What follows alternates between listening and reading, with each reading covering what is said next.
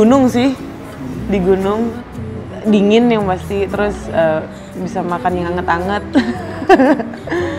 Nggak tahu sih karena tempat dingin saya suka jadi kayak se- senja pun pasti saya suka lebih suka di tempat dingin.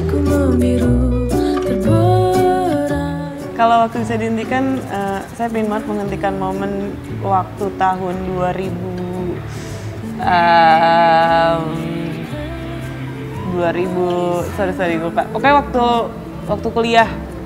Kuliah semester 3 semester 4 karena di situ momen di mana gue cuman bertiga sama temen gue doang cewek saking temenannya dan kita nggak mikirin hal lain selain main main main dan main gitu. Di situ momen yang memang walaupun main juga belajar juga iya gitu. Jadi kayak imbang aja nggak mikirin cowok. Kan mikirin cowok pedes banget tau gak sih? Males banget. Iya kan? Tuh pada ketawa kan tapi beneran kayak itu bener-bener momen di mana aku nggak peduli banget sama laki-laki. Sama satu lagi mungkin momen sebelum bikin album telisik. Karena itu eh, turning point Danila yang dulu sama yang sekarang. Pesona dirimu membawaku masuk ke alam buaya. Masih teringat jelas waktu kau hadir di depanku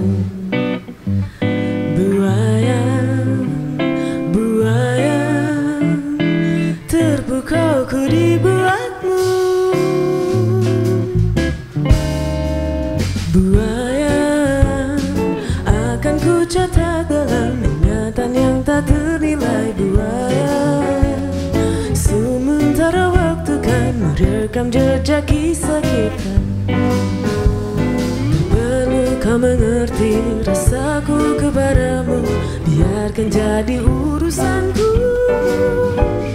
Tak usah ku pahami rasamu kepadaku Biarkan jadi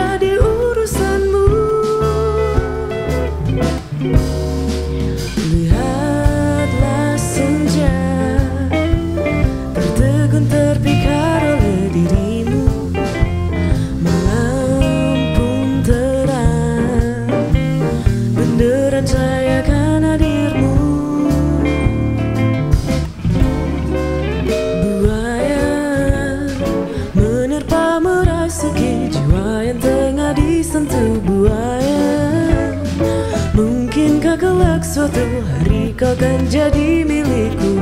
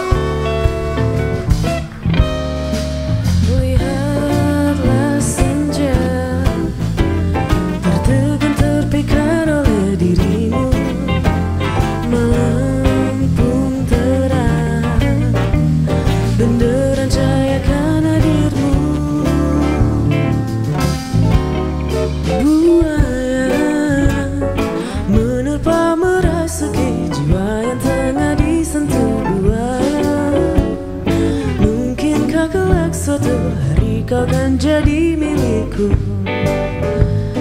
Engkau kan jadi milikku.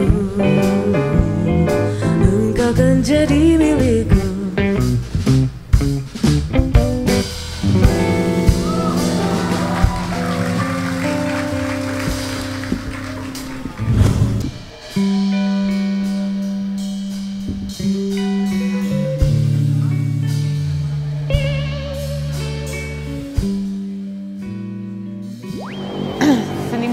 musik seniman itu di Indonesia saya suka sama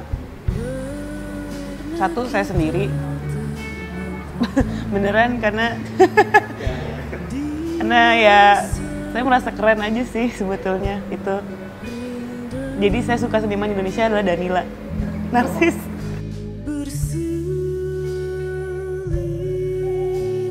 Em, Kalau kalau dia eh, aku lebih nyaman untuk dunia panggung atau dunia hari-hari. Kalau diakumulasi sih jatuhnya aku lebih nyaman pakai sneakers daripada high heels. Karena itu lebih banyak gitu porsinya. Kuota pakai ini tuh lebih banyak. Jadi eh, memang pakai ini sih. Cuman memang tapi sekalinya pakai high heels tuh kayak yang aduh pingin banget nih. Lagi pingin banget pakai high heels terus pas pakai puas habis itu kayak ah, udah selesai cuman sekali sekali doang cuman emang pingin banget cuman untuk untuk untuk yang emang selalu selalu selalu iya ya itu pakai Ke mana?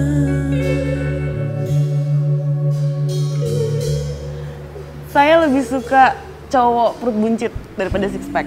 Kenapa? Karena eh, kalau cowok perut buncit tuh kayak dia justru apa menggemaskan sih menurut saya. Dan dia tidak trying so hard untuk menjadi ganteng gitu. Karena kalau six pack tuh kayaknya dia jadi kayak kepiting gitu nggak sih badannya? Kadang kalau kalau gue pribadi sih gue kayak kayak geli aja ngelihatnya jadi gue lebih suka cowok yang perutnya agak buncit agak cabi.